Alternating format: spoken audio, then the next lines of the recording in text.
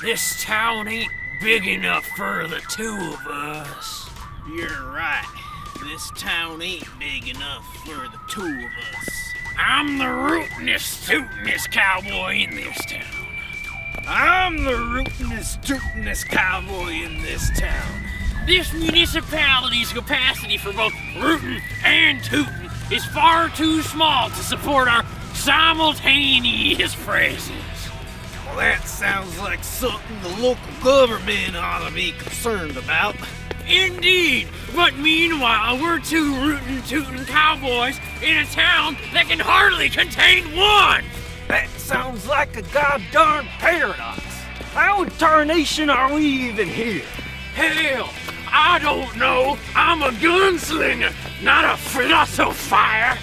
Nevertheless, seeming like we gotta solve this here conundrum. I concur, but what possible course of action could lead to a satisfactory outcome? Oh, I got some ideas. I'd wager we're thinking the same thing.